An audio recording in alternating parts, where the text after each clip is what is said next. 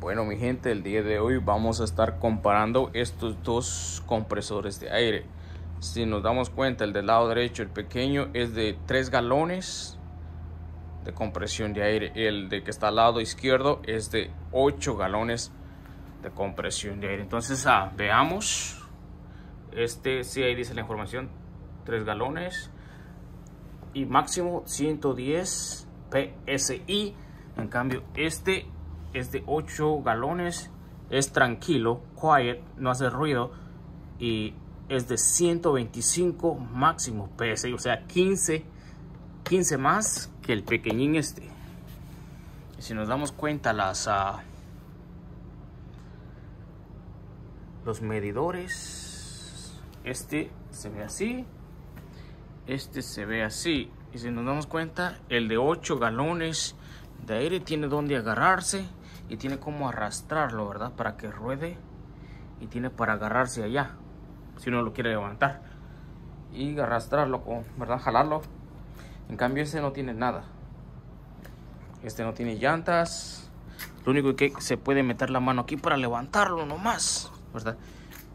Es más pequeño. Entonces vamos a ver. Y este, otra de las cosas es que este, aquí, para soltar el aire, solo se hace rápido ahí. En cambio este hay que destornillarlo. O sea, aquí hay que dar el botón S y, este tiene el filtro. Ese dice que es un filtro que está ahí. Entonces, uh,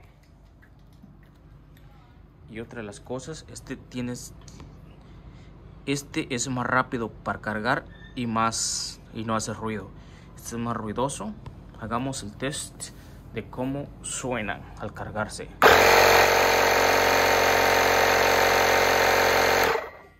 Hace ruido. Ahora vamos a ver este.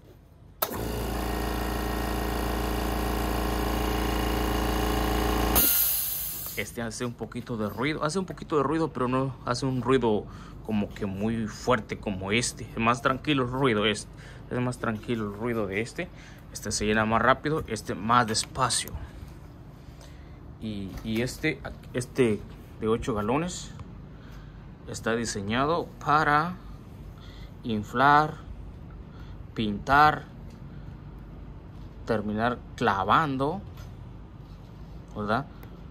Y, y este es para clavar para aflojar los tornillos según y para apretar para apretar y para aflojar. Ok si nos damos cuenta esos dos ya hicimos comparación de sonido una vez más rapidito. Mucho ruido. Más tranquilo. Ok ahora los precios. Este vale 126 en Walmart. 126 dólares, el de 8 galones. Este vale como 90 a 100 dólares, poco menos, ¿verdad? Es un poco menos, pero lo que tiene este de aquí es que es portátil, se puede decir, lo puedes andar en tu carro.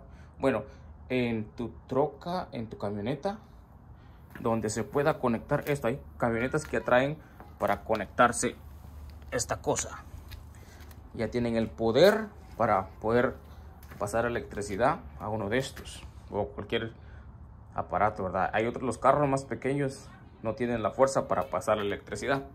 Entonces este lo puedes andar en tu carro, es más pequeño y si, necesitas aire solo lo inflas, la llanta.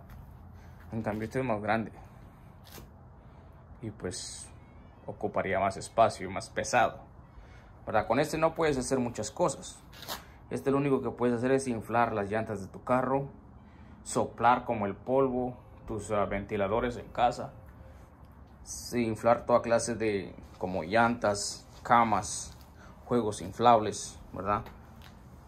O sea, se puede hacer eso. No puedes este, quitar los tornillos a las llantas de tu carro. Porque esos otros galones se te va a acabar el aire rápido y vas a estar, va a estar haciendo cargándose a cada rato, haciendo mucho ruido. Y pues vas a tener que esperar. No, no tiene la fuerza. Este, este tampoco no tiene mucha fuerza para quitar los tornillos. Tienen que estar un poco flojos los tornillos de la llanta de tu carro para que los quite. Si están muy apretados, no te los va a quitar. Pero, pero tienen más aire para que rindan más. Bueno, eso es todo el día, el día de hoy. Si algunas preguntas, ¿verdad? No dejen en comentar abajo.